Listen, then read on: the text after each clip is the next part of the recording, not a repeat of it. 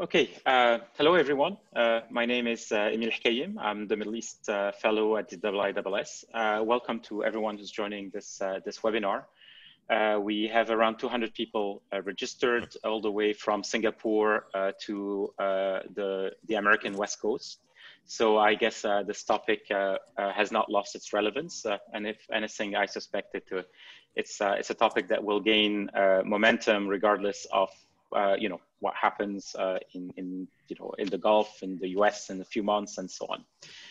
Um, so much has changed in the U.S., in the Gulf, and uh, and globally that assuming that uh, things will remain in in terms of the U.S. Uh, military presence in the Middle East uh, as they've been. Um, could actually be complacency, uh, both analytically and, and policy-wise. Um, it certainly is a topic that uh, has been and, and, will remain the, the subject of future ISS publications and meetings, uh, including at our annual uh, Manama Dialogue. This webinar is really about uh, assessing the wisdom, the merits, the benefits, uh, the costs, the future of the vast US military presence in the Gulf region. it brings together three US perspectives on the matter. Um, at a later stage and after Eid al-Adha, uh, we'll put together a panel, uh, a webinar about the internationalization of uh, Gulf security and bring together voices from the region. Um, by the way, and in advance, uh, Eid Mubarak uh, for Eid al-Adha to all those who will celebrate uh, a few days from now. Um, I'll briefly introduce the speakers, uh, but you have their bios, so it will be short. and a reminder, this event is on the record. Uh, we'll start with uh, Kirsten Fontenrose, who's uh, currently at the, the, Atlantic Council after a long career in the US government. Uh, most recently, uh, the National Security Council uh, um, during the, the, the, current administration. Daniel Benaim is a fellow at the Century Foundation. he's previously served in policy positions in the Obama administration. Uh, and Becca Wasser um, is now at the Center for New American uh, Security, was previous, previously at RAND, and uh, was a dear colleague a few years uh, ago uh, at the ISS. Uh, so welcome to all of you. What I'll do is I'll ask a few questions from each of the panelists to start. Um, and I hope to, you know, start a discussion among them. Um, I'll then turn to the audience uh, to collect your questions uh, and, and convey them to, uh, to our panelists. You're probably all familiar with Zoom and more probably zoomed out. Uh, but um, you know, uh, to make it easy, uh, type your, your answers in the Q&A function that you see right here at the bottom of your Zoom window. So um, welcome, Kirsten, Daniel, and, and Becca. Uh, Kirsten, let me ask uh, uh, you the first question. Um, you know, basic one, but I suspect we always have to go back to basics to, uh, you know, provide a, a, an honest assessment. Um, what is the US posture designed to do uh, as it is currently built? And is it fit for purpose? I mean, this wide, this military footprint that is quite significant and visible in the Gulf region. Thanks for the question, Emile, and thanks for everyone for joining us. I'm looking forward to hearing opinions from the audience as well, um, and obviously for hearing Dan and other speakers. Uh, the US has sought to draw down forces in the Middle East for the past decade. And experiments with this, for example, 2011, have had unintended negative consequences. And each administration has had to moderate its vision for kind of a ticker tape parade with returning soldiers. But this president has been more consistently adamant that about that goal of returning soldiers throughout his administration. And that has come in parallel with a US military that seeks to pivot to Asia and pull manpower and materiel from the region. Unfortunately, the situation on the ground has not cooperated with these ideas of repatriating or repositioning the package of resources that the US has committed to the Gulf over the past generation. And the Gulf has expected the US to retain a 9 11 era presence and focus on the region. But the US is asking what the return on investment has been of this posture. After 40 years of train and equip programming, the examples of Gulf partner military capabilities that can truly contribute to their own defense make it look like an investment that only a fool would make. And the, the US has defined its objectives. They are laid out in the national security strategy and in the national defense strategy in unclassified, Googleable, black and white. But the US has proven a little confused about its own objectives. For example, the US national security strategy written in 2017, makes a statement on the Middle East. It commits the United States to retain the necessary American military presence in the region to protect the US and our allies from terrorist attacks and preserve a favorable regional balance of power. So it's a little vague. And a debate continues to rage within the US government about whether or not the Iran threat network constitutes terrorism. A lot of the authorities through which the US conducts CT operations are rooted in language that is specific to Al Qaeda, ISIS, and their affiliates. The designation under, of the IRGC under, under Trump has empowered all other arms of the US government to pursue the IRGC, you know, with tools of power across the interagency, but short of kinetics. So the rogue militia groups that were that trade strikes with in Iraq, for instance, they fall under special authorities we have for Iraq. Um, the US continues to maintain the kind of footprint in the Gulf that facilitates what the US sees as critical activities. And these include things like shaping operations. You may sometimes hear these referred to phase zero operations that maintain our relationships with partner militaries and, and the, with the intention of preventing the conditions for conflict. And then security cooperation, which includes the part capacity building I've touched on, you know, questions of its investment, as well as military sales and funding, and standard pre-planned deterrence operations, peacekeeping operations, stability operations, often done in conjunction with other members of the international community. Um, we also conduct special operation activities that are designed to have a specific effect on the ground. And then combat operations, should the need arise, that are intended to destroy an adversary's military infrastructure or materiel and push an adversary from territory they have taken in opposition to international law. I personally think that the argument that counterterrorism is no longer a threat worthy of US attention is naive, and you do hear that from some corners. We're already seeing old and new extremist groups take advantage of the world distracted by COVID. Um, and that in itself, I think, is a reason to maintain the ability to conduct these critical functions in the Gulf. But in an era of renewed tensions with Iran, Saudi Arabia and the UAE specifically make it a little tough right now for the US to choose to maintain its presence. They're negotiating their own terms with Iran, but without the US in the conversation. So, what they're doing is pushing for the US to maintain troops on the ground in their backyards. But Iran has made it clear that they consider these troops legitimate military targets. What this means is that they are securing the safety of their own men and women while expecting the US to station its men and women in the Gulf to be the cannon fodder. And the US is having an increasingly difficult time seeing the logic in that. And even those who stand by the many other benefits of the relationship have a hard time arguing for why troops taking fire from Iran backed groups is the way to secure that relationship. Um, one option is, that we've considered uh, recently is a mutual pact of non aggression. And this is not just my idea, it's not a new idea. There are really smart folks at USIP who've been thinking about this. There are folks um, in other corners and in past administrations who have thought about this. In 95, something similar was tried between Saudi and Iran that kept the peace for quite some years.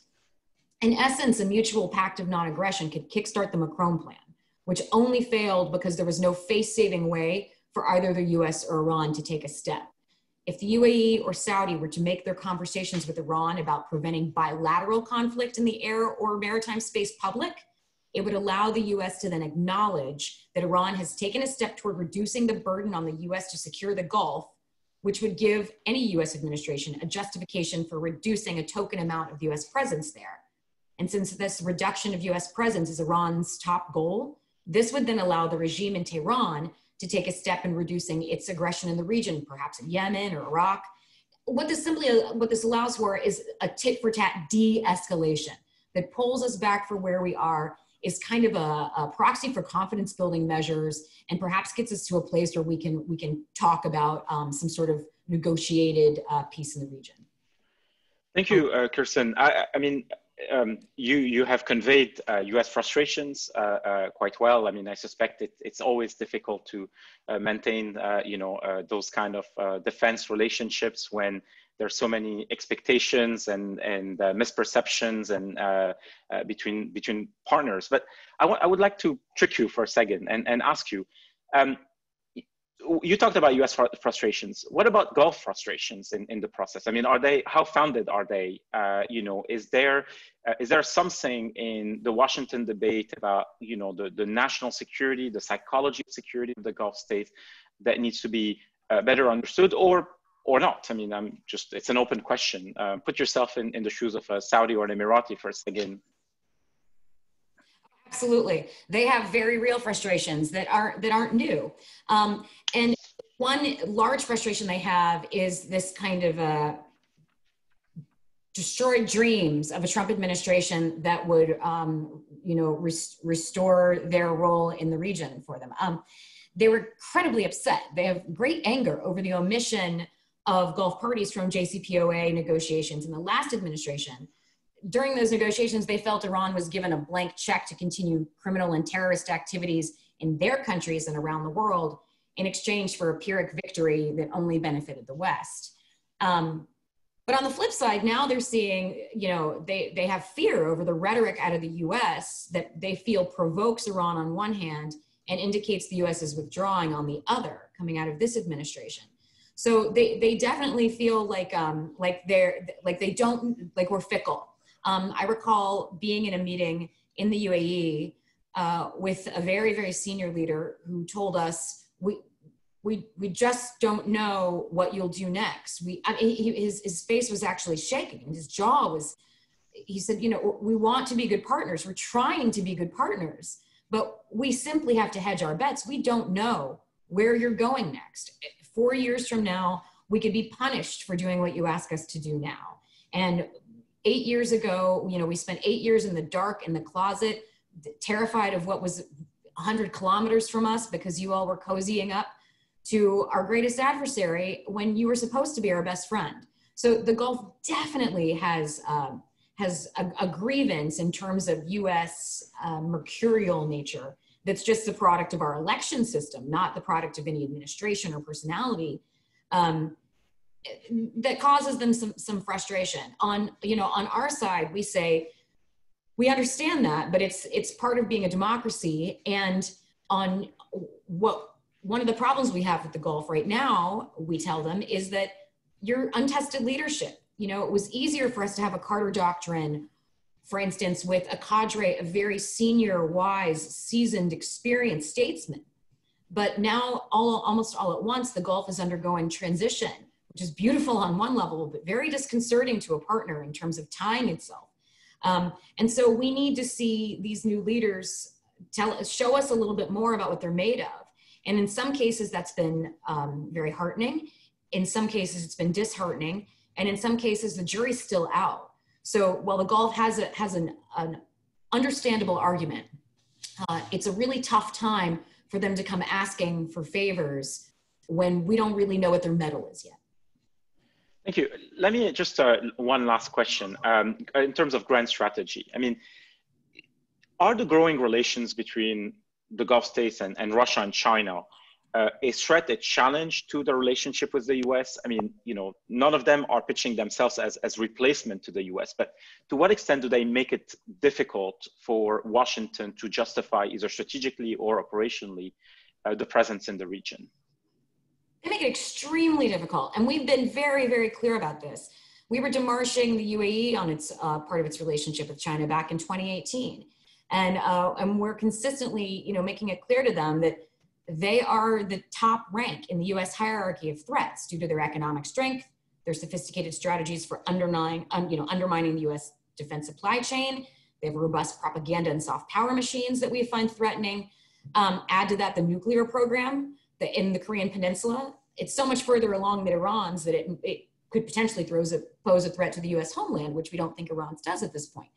Um, you'll also note in the U.S. national security strategy, as compared to what I mentioned about our statement on the Middle East, our statement on on the Indo, you know, Chinese peninsula is that to maintain a forward, I'm going to read to you directly because I have it right in front of me. Maintain a forward military presence capable of deterring and, if necessary, defeating any adversary. So, you know, not just sort of secure our commitments and uh, make us CT um, resilient, but deter and, if necessary, defeat. The word defeat is not in the national security statement regarding the Middle East. So the Middle East should understand that this is going to be the way that the US sees that part of the world. And that if you become their best friend, if you do your own pivot to Asia in a way that is super friendly, then that's going to be a challenge to our relationship. Um, both China and Russia, they're expecting a request to, from the US to disengage diplomatically on things like the arms embargo in Iran. Um, we want, we would want the Gulf to then use their leverage with China and Russia to prevent a veto of that. But one senior Emirati diplomat told me recently that the Gulf does not have enough leverage with either when it comes to core political and foreign policy issues to kind of move the needle on this. And I agree with him. So, in that sense, what is the argument they have with the US for maintaining that relationship? It starts to look like kids on a playground. You know, you're my best friend, you're, you're his best friend. Um, because in, t- today there doesn't appear to be any, um, any, any room for nuance or any gray space. It's an us or them.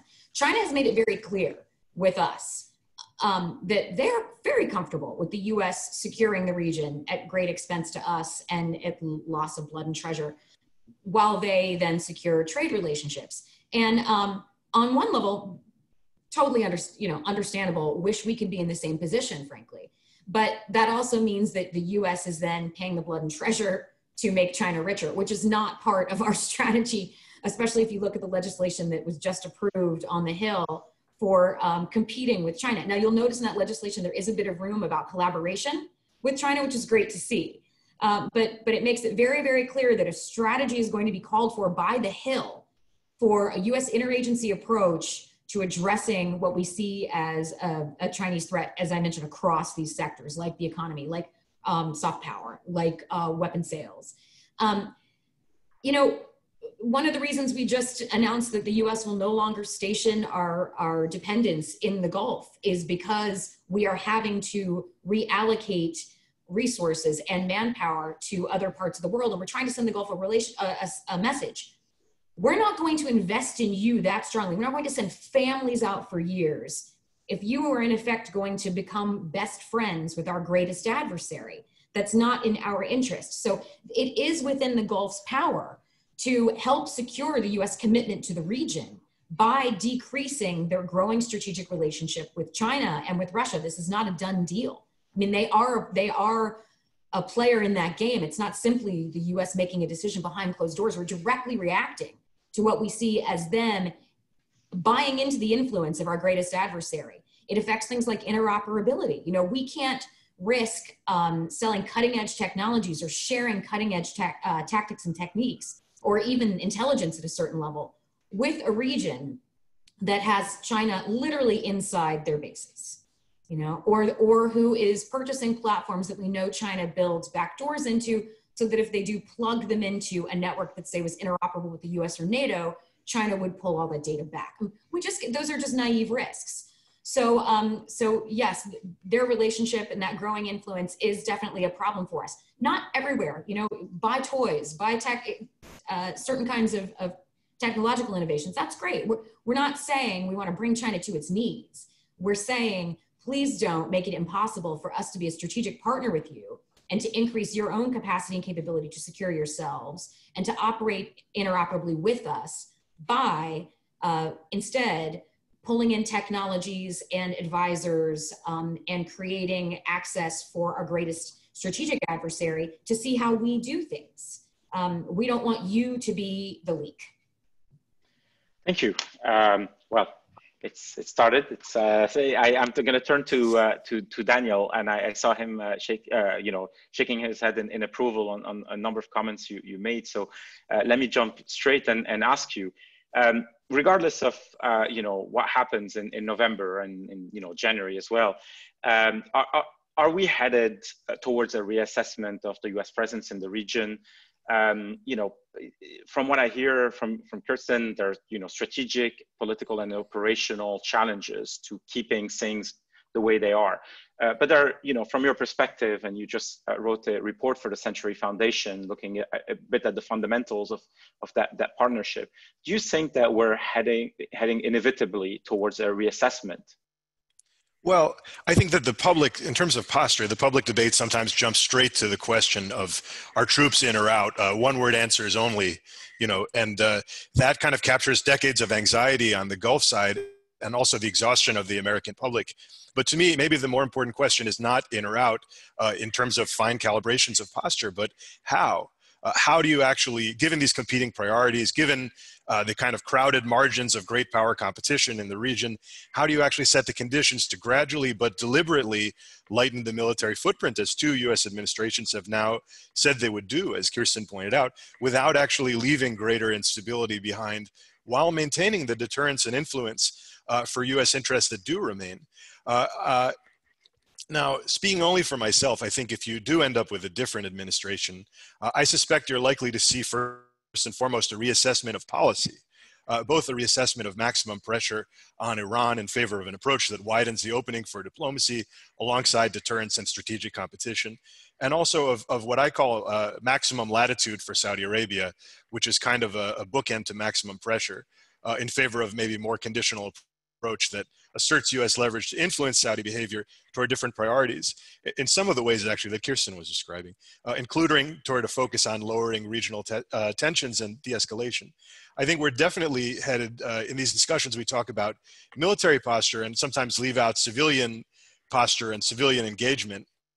I think we're headed toward uh, if, if we should see a change uh, toward a reassertion of the importance and primacy of that kind of civilian diplomatic engagement uh, and, and, and toward finding a way, hopefully, to measure commitment in terms of more than the number of carrier groups.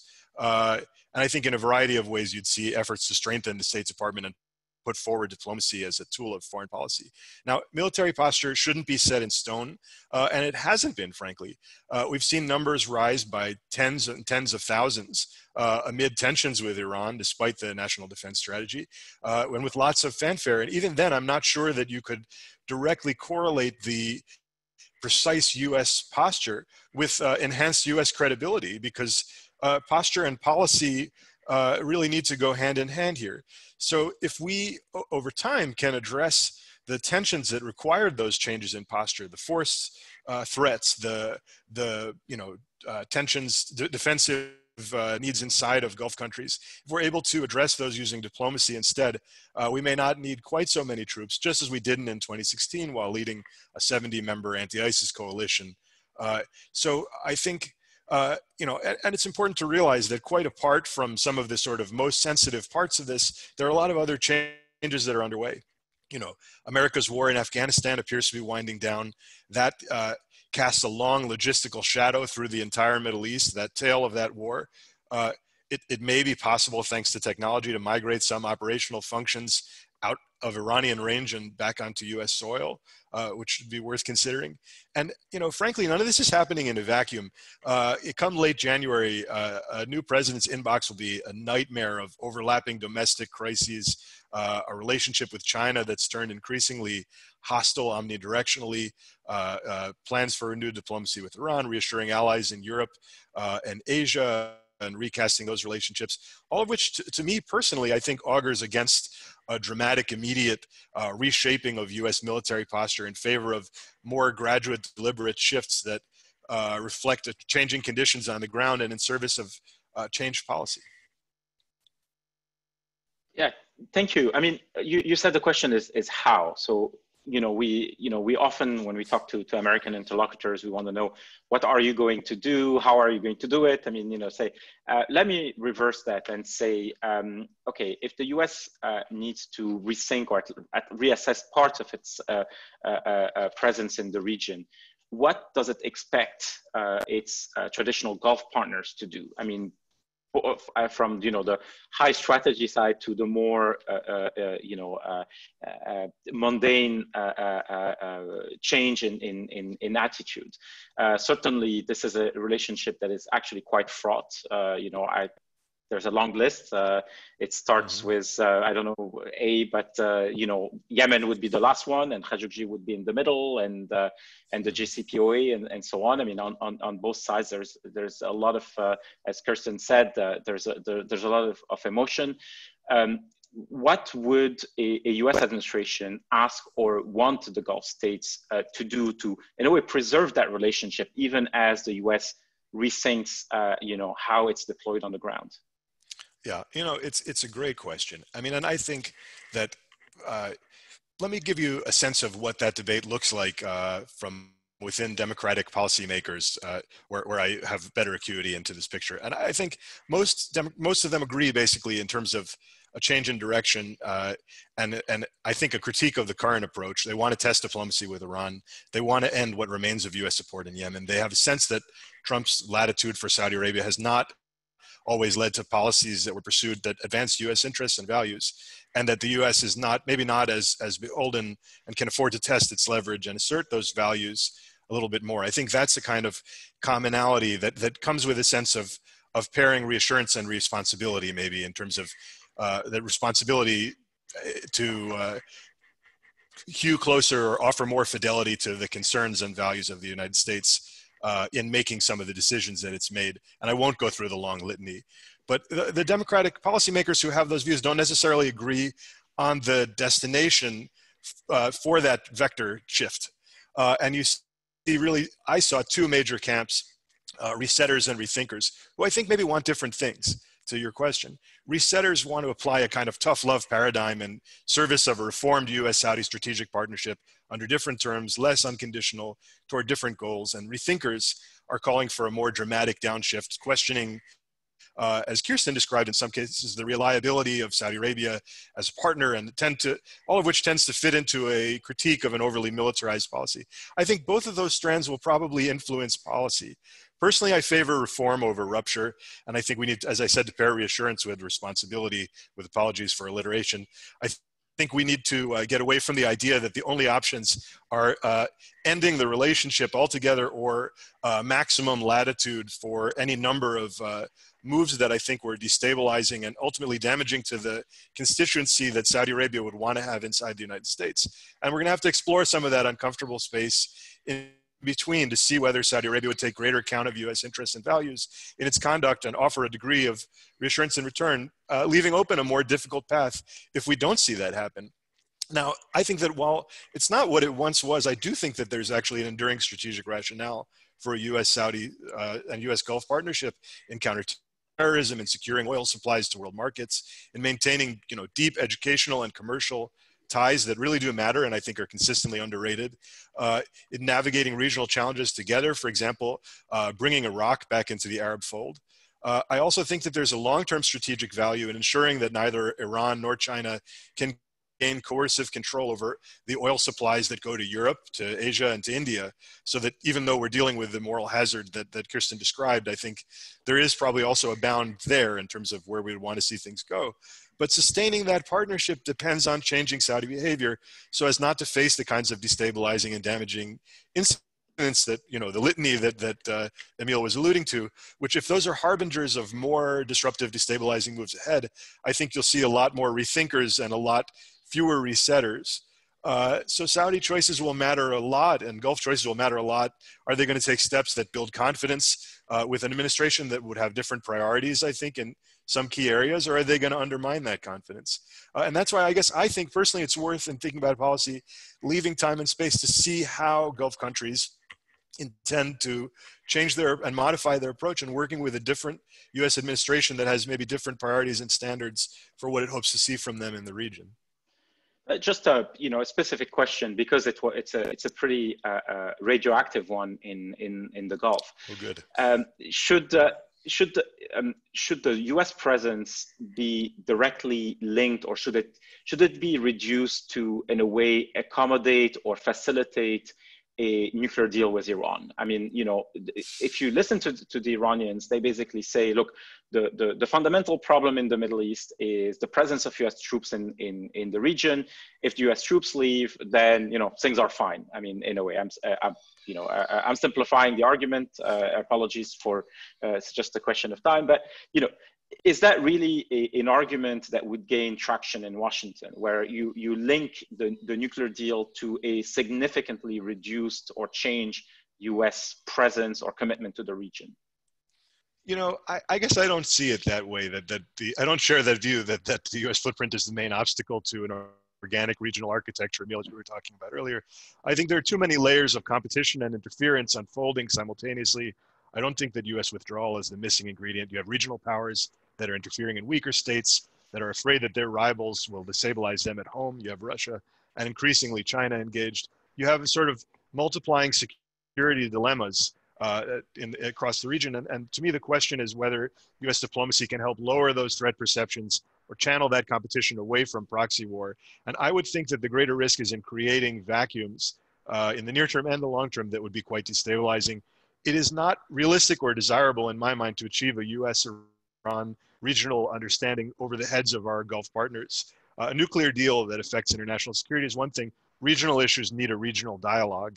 Uh, and I don't think that America should have that conversation without the Gulf. And I think that the Gulf will have to have that conversation in a way that factors in American interests too, which is why I've called for, I think, uh, for uh, internationally supported regional dialogue to be in loose parallel with the, the nuclear deal.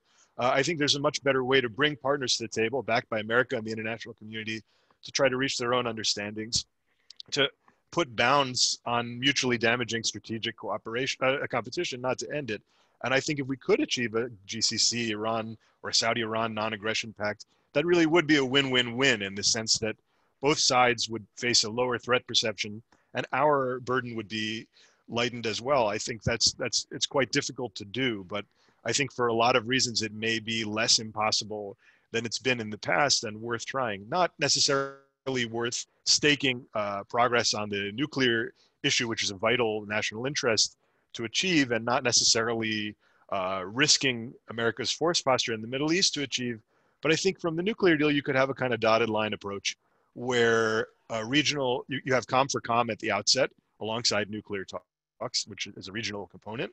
And over time, you, uh, you create this parallel track and the full depth and extent uh, of uh, opening or uh, sanctions relief or implementation to Iran, it depends on the regional file. I think if you see Iran making progress on the nuclear file and still at the brink of war on the regional file, it'll be hard to move uh, past a certain point. And I think trying to align these different areas of progress is going to be devilishly difficult because you don't want to take hostage the uh, the nuclear deal or the force posture to address them, but it's worth thinking creatively about how they might eventually be connected.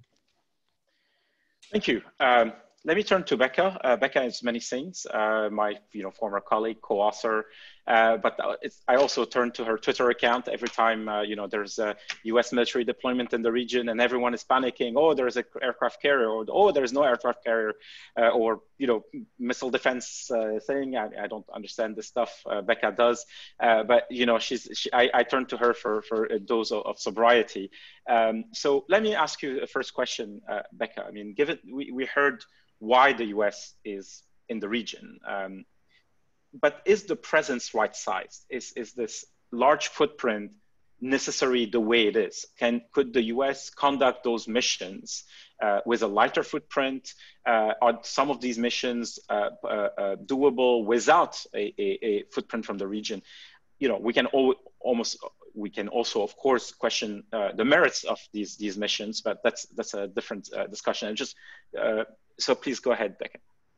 Yeah, so at present, at present, US presence in the Gulf is not right sized. And it was not right sized prior to the massive, um, you know, plus up of forces that we saw um, from May to January of this past year.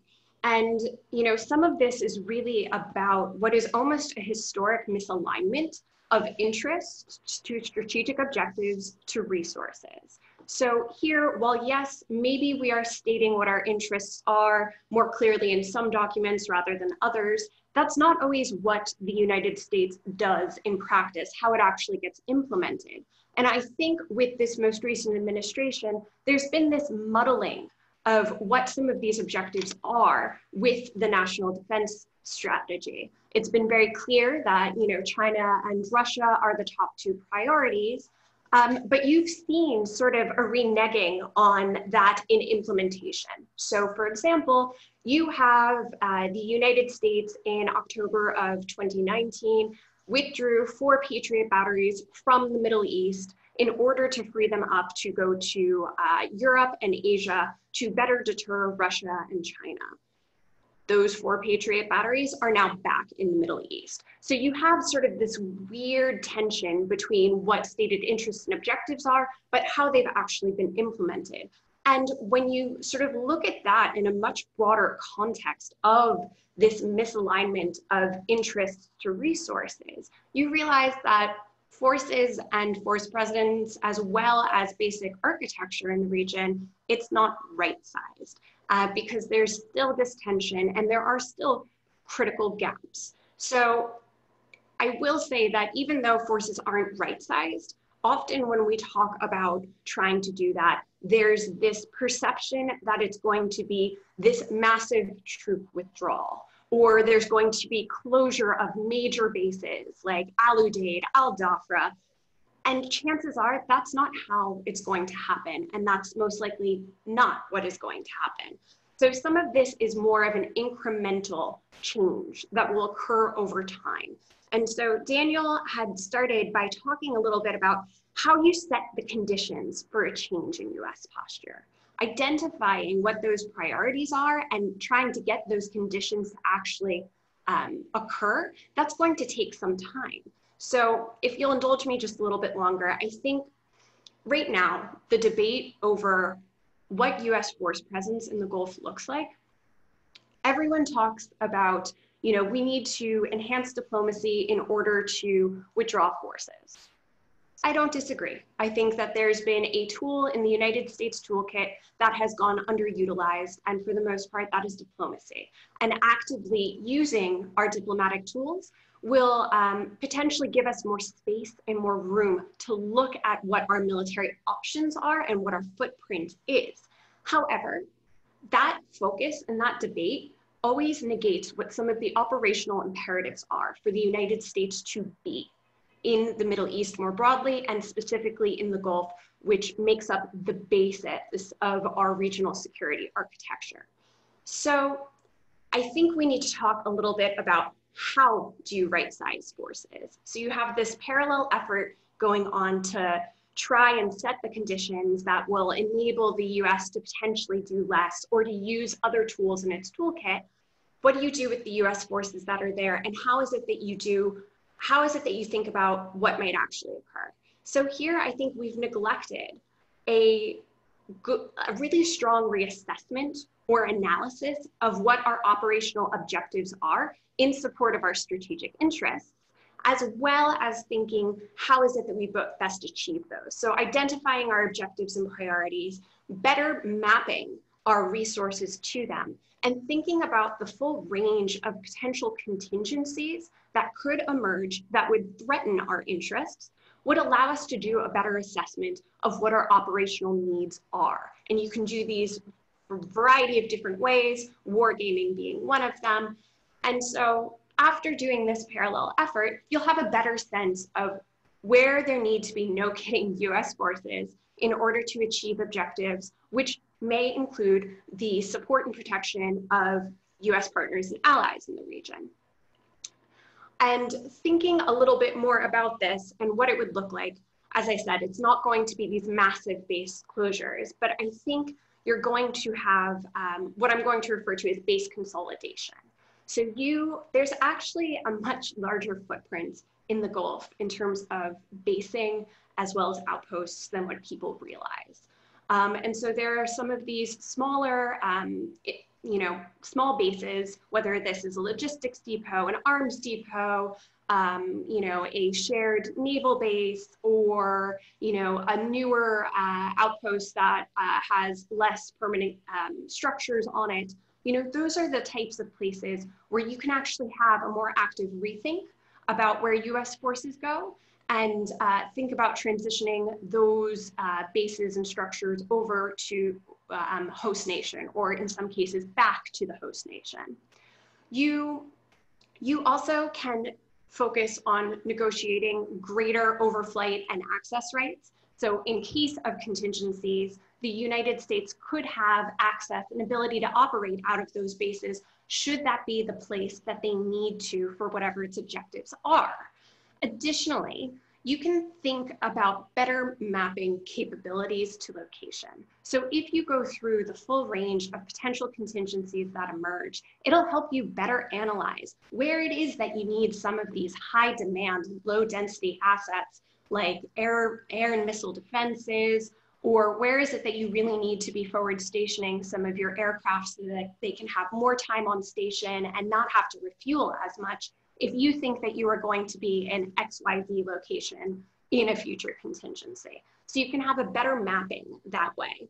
And lastly, you can also think about ways in which you can better utilize your forces to achieve a full range of what your objectives are. You know, right now, if we're looking at the national defense strategy, there's a lot more that US forces that are already in the Middle East can be doing to uh, better compete with China and Russia, um, to be demonstrating operational unpredictability, to be deterring revisionist actors like Iran, um, or to be doing things like strengthening alliances and partners. And in some ways, this is just reframing some of the activities that they're already doing, but putting them more within this context of US interests and priorities, because right now it's entirely muddled and it makes it quite difficult to have this conversation about what a right sized force genuinely looks like. Okay, I, I wanted to ask you something. Um, I have the sense, and I may be wrong, but that actually uh, the military to military relations between the US and its Gulf partners, um, in a way, is the default mode. It's the comfort, the comfortable mode. It's that when the political relationship is, is challenged, when there is uh, too much uh, gas in the water, etc., it's easier to ask, uh, you know, a, a powerful, strong-looking four-star general uh, coming down from his airplane in you know some of this Gulf capital to you know maintain the relationship going. That actually you know the the the the, the Gulf states are security obsessed. Uh, they are they see the kit. Uh, they they see the CENTCOM commander as way more powerful than his State Department counterpart, the Assistant Secretary. Uh, you know, the, the way the media coverage uh, of their respective visits uh is uh, in the region uh, tells you something. Um, is it is it the case that defense relations, uh, those this mill-mill uh, uh, relationship, can trump uh, uh, or moderate uh, the, the, this U.S. desire for readjustment that I heard from Daniel and, and Kirsten? Is that like, is there a specific constituency in the military or elsewhere that you know is really uh, uh, vested in uh, doing the things the way they have they are being done right now? Yeah, so I think your question is definitely a two-parter, and I'll start with the second part first, which is talking a little bit about the constituencies. I would say that a lot of the military personnel who have spent significant time doing security cooperation activities with a number of Gulf partners, but particularly the United Arab Emirates, tend to be very gung ho for keeping things status quo, if not doing more. And some of this um, really speaks to uh, the emphasis that regional partners have put on the military relationship. As you noted, some of it is a little bit about having access, but a lot of it is also um, sort of a two level game and thinking about ways in which not only do the Gulf states want to be hedging with extra regional partners, they also want to be hedging with various partners within the US government so that when the White House comes down uh, with perhaps an edict that they don't like, they can then go to, as you noted, the CENTCOM commander and have that frank and open conversation. But this is also a little bit about how security cooperation truly works because the mill to mill relationship, what it's really about is security cooperation. These are the building partner capacity activities that Kirsten mentioned, arms sales, education and training, uh, bilateral and multilateral exercises, you name it. Um, what that really is about, security cooperation takes time to bear fruit. It is a long-term endeavor. And for a number of the Gulf states and the Gulf state leaders, even though there is this generational change that is um, currently taking place in a number of these countries, you know, having that uh, continuation of um, of leaders or at least you know key people to go to has been really important because that personal relationship is so important in a number of Gulf capitals. And so in that way, it can be using the mill to mill relationship can almost be a little bit of reassurance, but it's not going to be the panacea because ultimately what this comes down to, and I think, you know, all of us on the panel and you, Emile, have sort of alluded to this at uh, various points. It comes down to the perception that is being held in Gulf capitals about what a US drawdown, even if minor, will look like. And you know, it will most likely be perceived as regional as American retrenchment from the region. And so in that regard, that will never be something that can be overcome because it's not the US that is creating that perception necessarily, that is being held by individuals. So you kind of have a chicken or the egg problem here um, that no matter what you do, no matter how much reassurance you provide in whatever form, whether that is an arms sale, whether that is a key leader engagement, whether that is even, frankly, the forward stationing of troops as a tripwire, it still is not going to necessarily be enough to overcome these perceptions because that is what the United States has done. And it hasn't been enough to get over, frankly, fears that were really rampant in 2011, if not earlier, even 2008. Well, thank you very much. Uh, all this is very uh, rich. Um, I'm, I'm, just going to turn to, uh, to the audience for, for questions. A reminder, um, if you have a question, please type it directly in the Q&A uh, function at the bottom. Um, so, I mean, first, uh, a, a question to, to Daniel, I think, uh, first and foremost.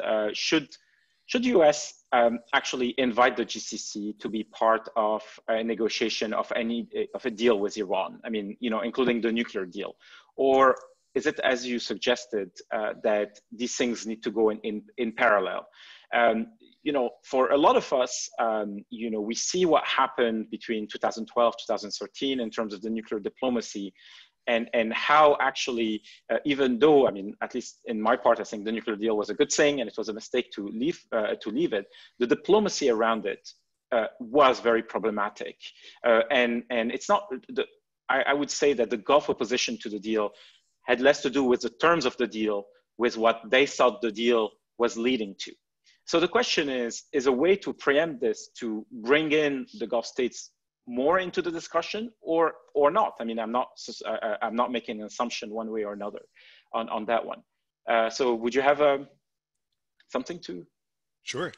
Yeah no absolutely. I look i think that uh, achieving the first nuclear agreement from 40 years of, of uh, lack of dialogue on these issues was an incredibly uh, difficult thing and required a degree of secrecy at the outset.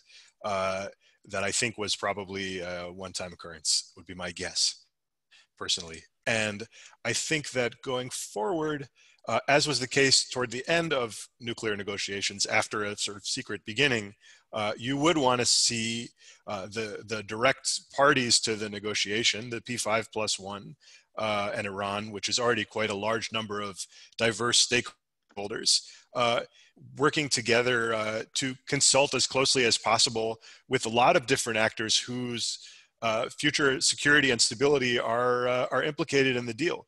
I don't know that you need to change the shape of the nuclear table to do that, but I think you probably have to to update the environs to uh, try uh, better this time to win uh, Gulf buy-in. And, and I guess I'm hopeful on the other side. I'm optimistic about your description that the problem was the process and not the substance, because that would suggest that uh, with a modified process, there might be greater receptivity to the substance of a nuclear accommodation. And I, and I do think that, uh, and Kirsten alluded to this a little bit, the idea of a kind of U.S. Deus ex machina that is going to remove uh, the Iranian threat from countries, uh, you know, a few dozen miles away, uh, in some cases, is not uh, realistic. It wasn't going to happen under Bush and Cheney or Trump, Pompeo, and Bolton. And I think there's an increasing recognition that as the U.S. pro- approached the brink of war uh, with Iran and uh, pursued some of the kinds of muscular policies that Gulf countries have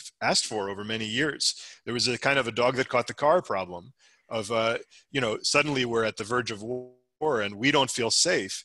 So I do think that the, the diplomatic terrain looks a little bit different, and that gives me cause for tempered optimism that uh, there might be a, a, a, whole different valence around a U.S. approach to Iran. And I certainly think that. Uh, given that, that a new democratic administration might pursue such an approach, it might be an area where uh, Gulf states could inspire confidence in their response and, and uh, show a different uh, and more constructive approach. Yeah, very, very smart people disagree with me on this, but I do think the process was really bungled on, on that one. And in, in a way, there's a, it was an, an unnecessary uh, escalation uh, between, between the previous administration and, and the Gulf states on a number of issues. I wouldn't conflate the Gulf uh, position on the JCPOA with Israel's position, for instance. I think the, the starting point were, were very different uh, in, in this matter. Apologies to everyone for jumping in. Uh, I can't be the chair. uh, Kirsten, uh, you know, a, a, question on this. I mean, you, you made a very strong point about uh, uh, the relationship between uh, the Gulf states and, and Russia and, and especially China. Do you think that um, the US will impose pressure, even more pressure, regardless of which administration comes into the White House in January on this issue in terms of technology, in terms of, of arm, arms procurement, etc.? I mean, you know, this could well be a, I mean, I would suspect that uh, both Republicans and Democrats across the spectrum actually agree on this. It's watching the debate from far. Uh, you know, China and, and Russia have almost become, you know, uh, uh issues of wide consensus uh, in, in, in DC, not, not total, but, uh, you know, still, um, you know, do you see that? Uh, and is it a, a, case where you can have an ultimatum, you know, on, on certain uh, uh, uh, technologies? And I sit in London right now and we saw the discussion over Huawei and, and how insistent the US was with the UK government. could that, could something like that take place with the Gulf states?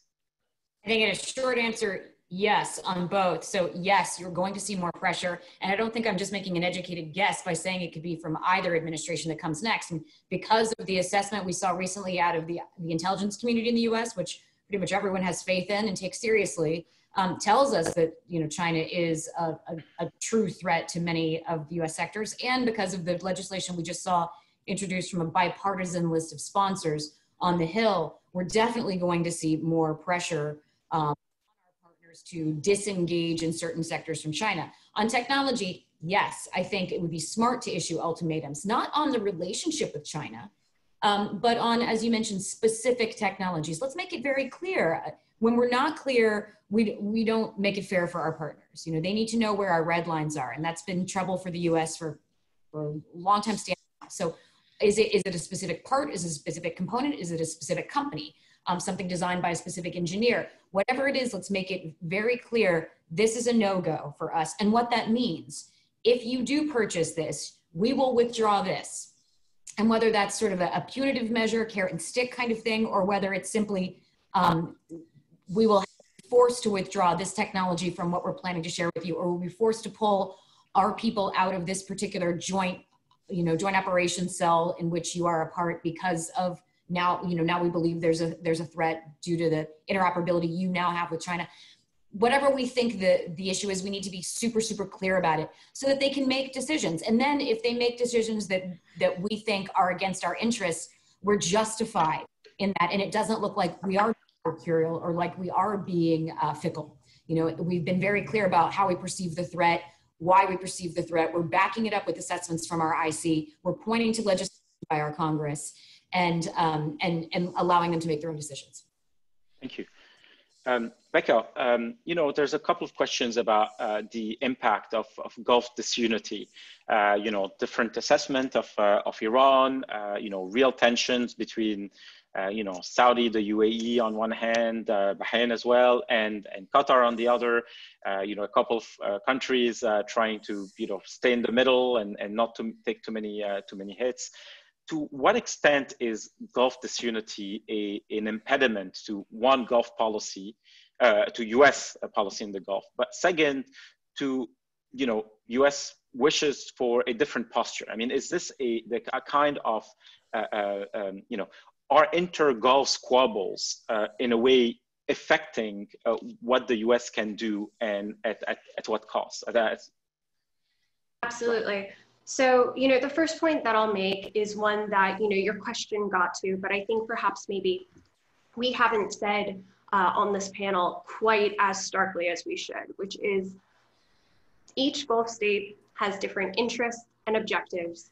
The GCC is, in some ways, a paper tiger.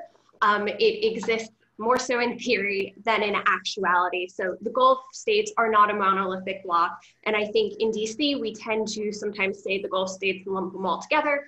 But from my vantage and where I sit, you know, just looking at each of the Gulf states, you know, each one has a very different set of capabilities as well as uh, their ability to carry out military operations. So when you look at their interests and objectives being different, as well as their different skill sets, these are just six different countries. Just wanted to throw that one out there.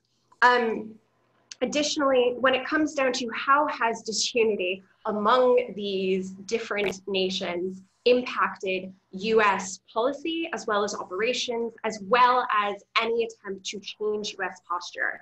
So I'll start with um, US operations. For the most part, there has only been a minor impact on US operations in the region brought on by the Gulf Rift. The place where this has been the most relevant has been trying to bring um, forces from one base, usually forces that are stationed at Al Udeid, uh, to other countries, um, in part because not all of the countries in the Gulf allow, um, allow US service members to uh, travel on their uh, orders rather than their passports. So for instance, if someone doesn't have um, you know, the right orders or passports, it gets kind of difficult for exercises. So it has required a rethink of some of who's doing the training and who's doing the exercises. For the most part, that's a fairly minor uh, inconvenience that the US has managed to find uh, workarounds to.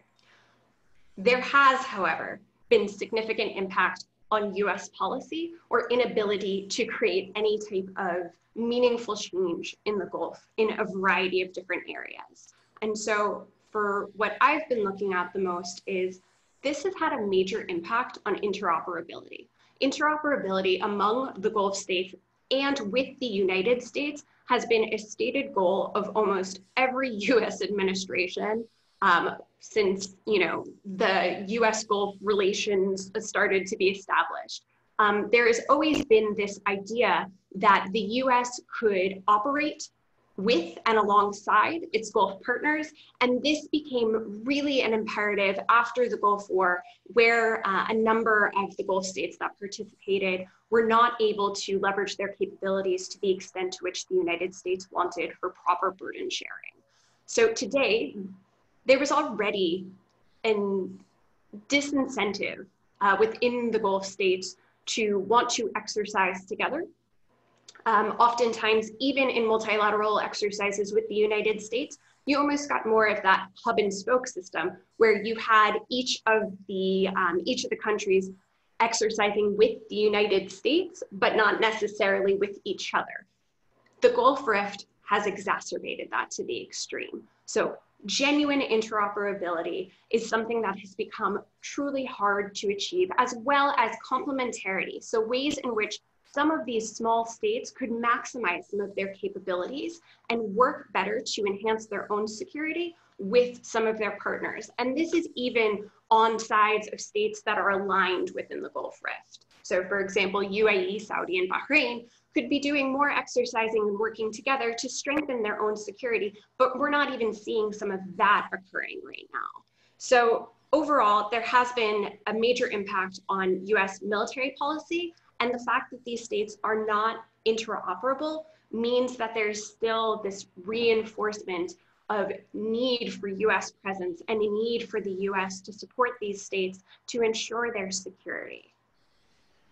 Well, certainly, I mean, I'm just curious, uh, both uh, Kirsten and, and Becca, um, how would you rate uh, the progress of uh, security cooperation uh, with, with the Gulf states? I mean, from where I stand as a, as a novice in the, in the field, um, I don't see much uh, happening and certainly see intentions and strategic dialogues and, and so on and, and big announcements. But if you look at at least three, four areas, maritime security, uh, cyber security, missile defense. Uh, you know, I can go uh, go through that.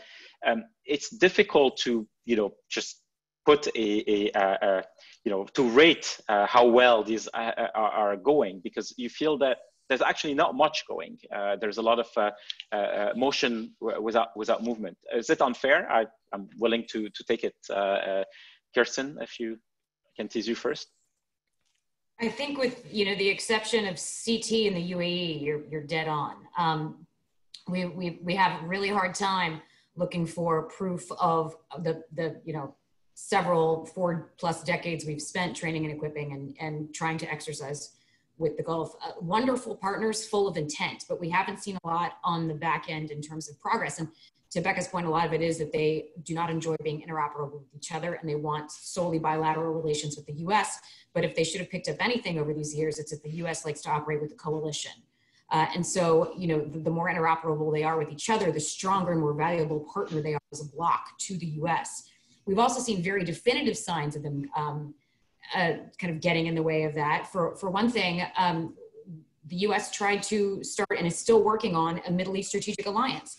And we've seen predominantly Saudi Arabia and the UAE slow rolling and narrowing the intent of that.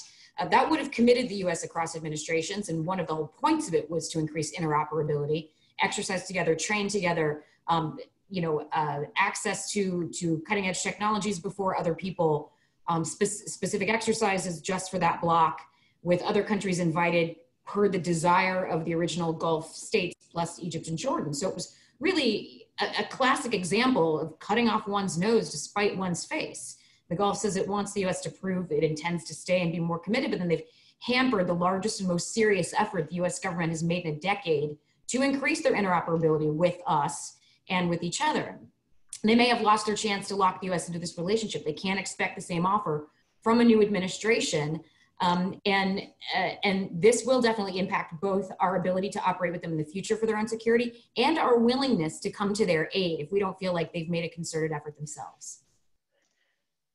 I'll just, oh, I'll just jump in if I may. So I think there, in addition to everything that Kirsten said, 110% spot on, fully in agreement.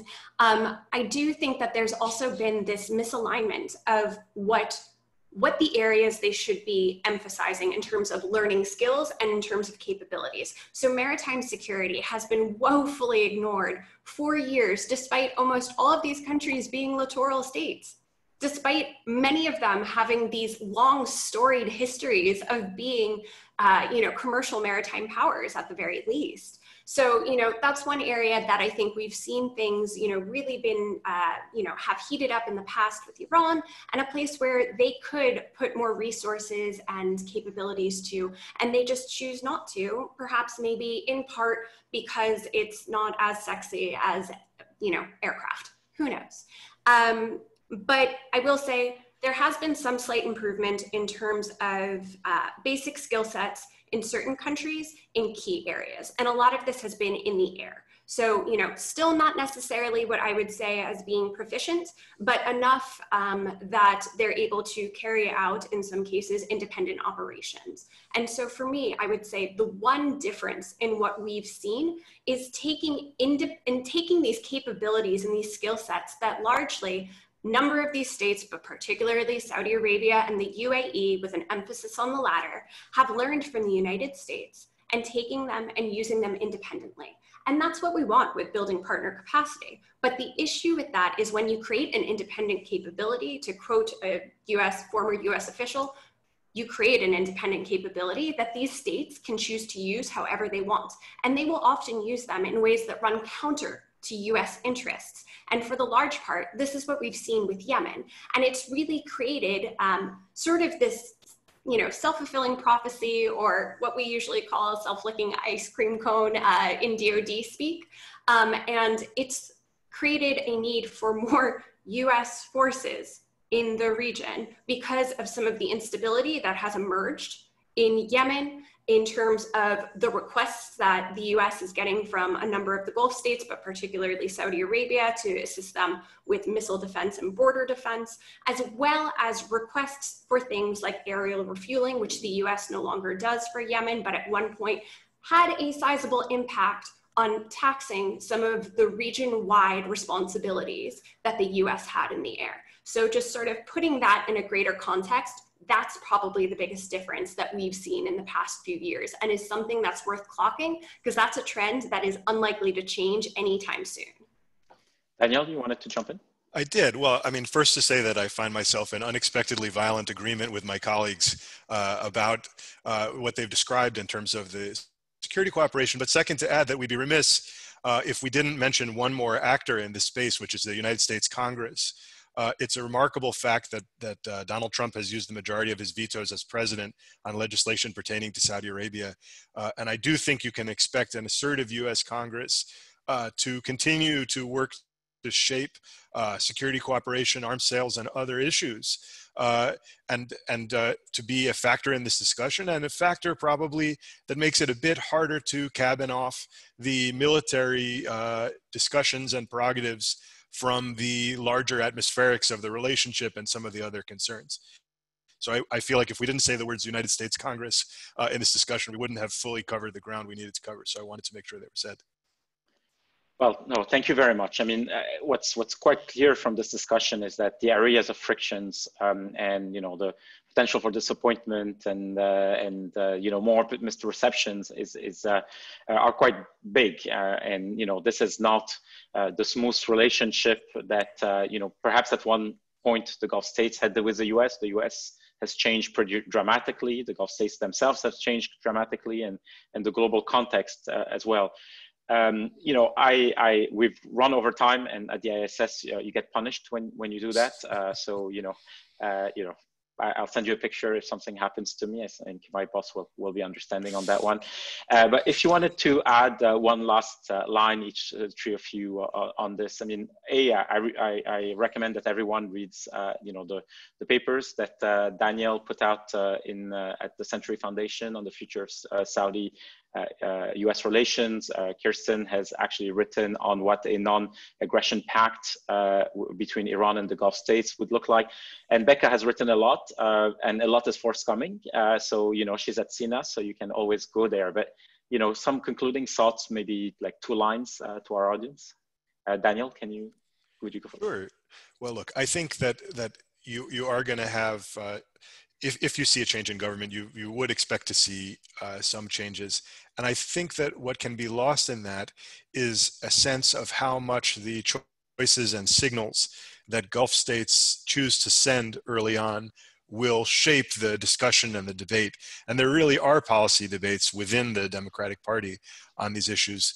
Uh, and they, to the extent that, that Gulf states take steps that build confidence uh, and address longstanding issues, I think that could register in important ways uh, in shaping the, the outcome. So I guess I would just make it clear that this is not a unidirectional uh, uh, discussion and, and uh, I'm, I'm looking forward to attending your next discussion uh, to hearing, hearing more because I think this is going to be a two-way transmission. As a thank you, we'll add you to our distribution list. Uh, Becca, you know, some final thoughts? Sure. I'll just conclude by saying you know, I do think that a strategic rethink of US posture in the Middle East is needed. I just want to caution that it's probably not going to look the way that people expect for it to, nor unfold on the timeline that people are probably thinking about. And that this rethink needs to be part of a broader global rethink that the Department of Defense and the interagency needs to do about better mapping strategic interests, priorities, and objectives to resources and capabilities, and that this that therefore will need to be properly messaged to allies and partners around the globe, but particularly in the Gulf, as the perceptions that the Gulf partners have of what US posture changes might be are probably going to be the drivers of how they are going to respond and often independently. So again, in order to achieve US objectives, um, and interests, making sure that not only does US posture align with those, but making sure that partners are alongside so they don't act independently in ways that undermine US interests and objectives. Thank you. Kirsten. I'd say just to Europe and the Gulf, um, just remember that you do have a vote. Your actions do impact what the US decides in terms of force posture. Um, and that has to do both with ideas of burden sharing, um, the ability to which you can absorb partner capacity in the part of the Gulf, uh, your relationships with, with adversaries, you know, that we've named, that kind of thing really does have an impact. So be thinking about your own decisions and not just saying, oh, well, this is the US and they're unpredictable. Um, I would also say that we will be looking to the Gulf, also to Europe, although um, Europe continues to, to try to do this with us, to be sources of plans and strategies for stabilization in countries where we've invested blood, sweat, and tears and not destabilization. I'm looking at Libya and Somalia. You know, um, we really want you to be partners uh, and, and, but we're looking for partner-like active actions. Well, thank you very much. Uh, you know, this is uh, going to be the topic of uh, many policy papers and op-eds and other things, I suspect, in the next uh, uh, six months to a year. Perhaps, you know, we'll even contribute ours. Um, so we will organize a, a, webinar. It's already in the plans, talking to Gulf voices on, on this, but more, you know, not just the US, more uh, other uh, international powers and their engagement in the Gulf. Uh, so please keep in touch. First, I want to apologize to the many people who asked questions and I couldn't take them all. We were limited. I would also thank, uh, you know, the 120 people who uh, stayed a few more minutes uh, to listen to our panelists. And finally, more importantly, thank you, Kirsten, Daniel, and Becca for your time today. And Eid Mubarak to those who will celebrate in a few days. have a good day, everyone.